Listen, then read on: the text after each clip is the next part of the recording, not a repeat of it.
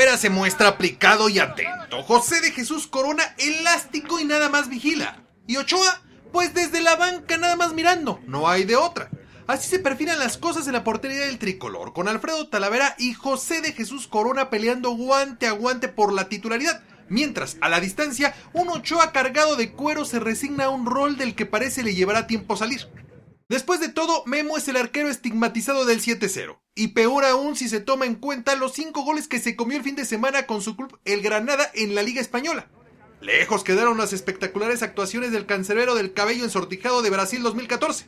Hoy vive a la sombra de la actividad de Talavera y Corona, que luchan por la portería del duelo de México ante El Salvador. Mientras que a Memo parece no le queda de otra más que mirar desde ahí, lejos, desde la banca.